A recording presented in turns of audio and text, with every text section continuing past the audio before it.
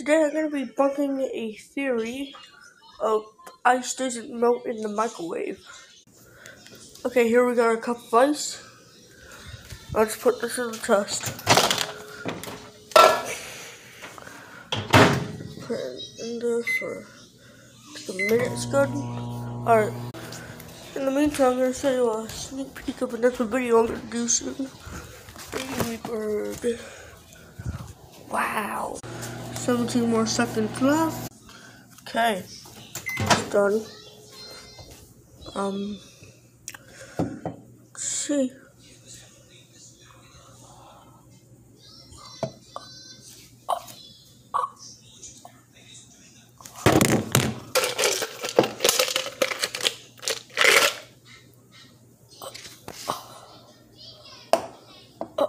Okay.